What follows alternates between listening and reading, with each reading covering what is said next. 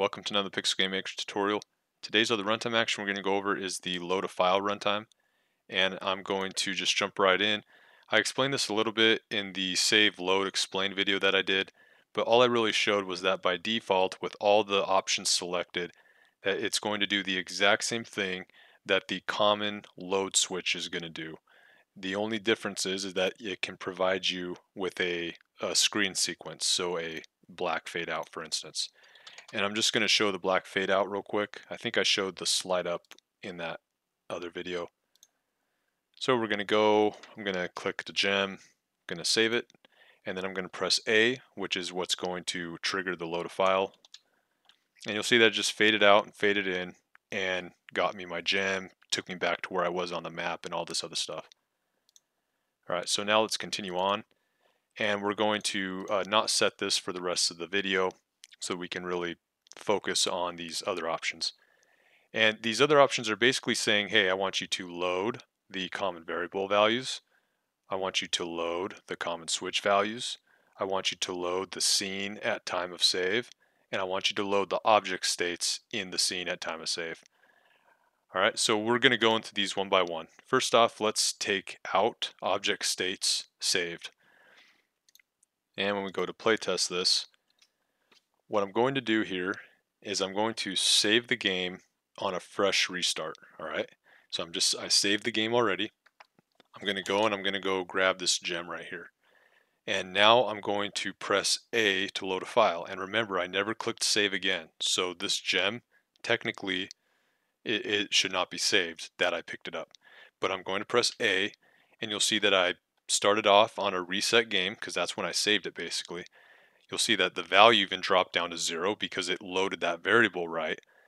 But you'll see that the gem never loaded up again. And that is because the object state didn't load up. We turned it off. So we can do this again. We can uh, get this gem right here and we can now load a file. You'll see the variable value drop down to zero again and you will see that those two gems did not come back.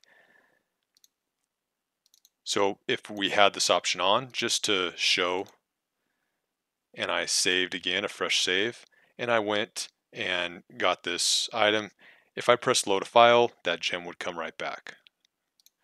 Now there's one more thing I want to show too and that is I'm going to add this filter object on here and all it does is it just turns on a noise filter. It turns itself with a noise filter.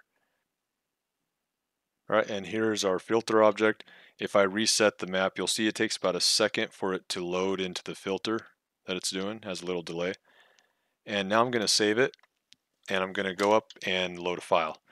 You'll see that the filter just maintained through all of it, and that is because we have keep the object states on. So now if I turn this off, and I replay test, you'll see that, let's say I save it again, and now I go up and I load a file, you'll see that it takes that second to load back into the filter.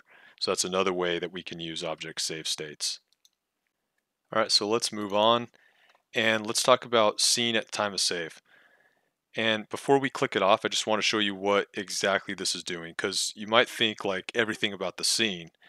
Well, really, no, it's just, it's literally the scene at time of save. So we're going to click OK. We're going to go to play test here and we're going to, let's just say, grab a couple of these gems here. I will save it. I'm going to go into the next scene, and I'm just going to save this scene as well. So I have one gem picked up, and now I'm going to load a file, or actually let me exit the map, and then I'm going to load a file. And you'll see that it brought me exactly to the scene that I saved. All right, I'm going to get rid of this filter object. We don't need it anymore. And then I'm going to unselect scene at time of save. We'll click OK. Jump into it. Get a fresh save here. Go into the next scene. Collect a gem. Uh, save the game. And load a file. Oh, I got to be in the other scene. That's right. And then, uh, well, I'll reset the game, okay? And now I'm going to click A to, to load a file and you'll see that I got the value. So I know that that gem is picked up, but it did not put me into the scene that I was in when I saved it. Because remember, I saved it over here.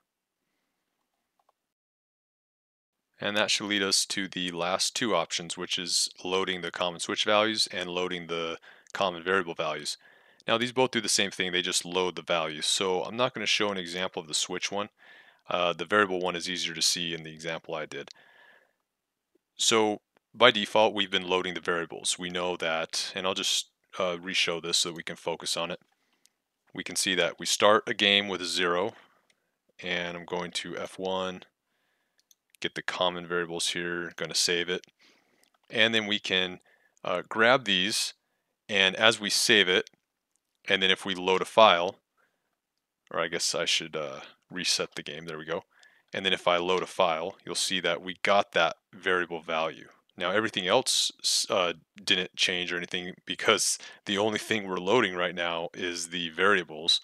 And by the way, this is this is how you can get high score systems in your title screens or Zelda-like uh, slot loads and and and uh, yeah to choose your slots and stuff because you can grab variables and switches even from a current slot and then you can lay out what exactly is available in that data as well without loading the actual game.